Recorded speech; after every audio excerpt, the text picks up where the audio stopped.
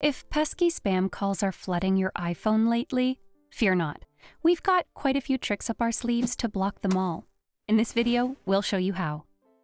Start by silencing unknown callers on iPhone, an effective method to prevent spam calls. Navigate to Settings, scroll down and tap on Phone. Locate Silence Unknown Callers and toggle it on. Next, you have the option to block a number directly from the phone.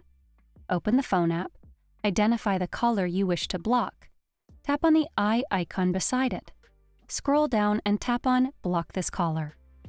If you receive a message from the number attempting to call you, you can promptly block it from the messaging app.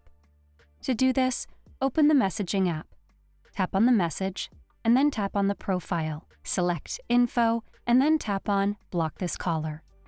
Lastly, Consider utilizing third-party apps such as Truecaller to stop spam calls. Head to iPhone Settings, tap on iPhone, and select Call Blocking and Identification. Enable all the toggles for call blocking and spam identification. We're thrilled that this video helped you dodge those pesky spam calls on your iPhone. Hit that subscribe button for more awesome tech content, and check out one of these videos. We're sure they'll spark your interest.